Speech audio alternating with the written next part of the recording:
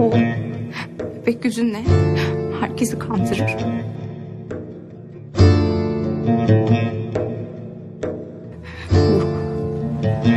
Katil kalbinle herkesi öldürürsün. Sen benim hiçbir şeyim değilsin. Tıpkı beni öldürdüğün gibi. Sen babamdan bile daha başarılı olursun.